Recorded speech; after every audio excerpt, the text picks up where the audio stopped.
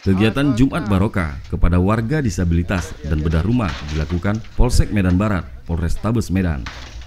Kegiatan yang dipimpin Kapolsek Medan Barat, Kompol Revi Nurvelani, Wakapolsek Medan Barat, AKP Muhammad Riki Ramadan, Kanit Binmas Polsek Medan Barat, Ibtu Mustar, Babin Kamtipmas Kelurahan Karangbrombak, Aibda Iswadi Ginting, Bribka MC Dabutar, Babin Kamtipmas Kelurahan C Agul, Bribka Prayuda, Babin Kamtipmas Kelurahan C Agul, Wirianto, Sekretaris Lurah Karangbrombak, dan Kepala Lingkungan 17 Karangbrombak, Haja Supiati, serta Kepling 4 Kelurahan Karangbrombak, Sukirno.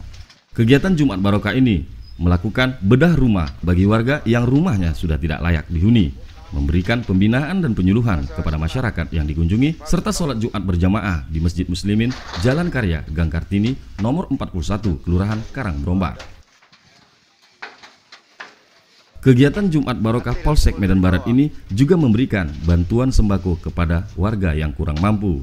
Hal ini sesuai dengan arahan Kapolres Tabes Medan, Kombes Dadang Hartanto dari Kota Medan, Sumatera Utara. Tim Liputan Tribrata TV. Salam Tribrata. Oh,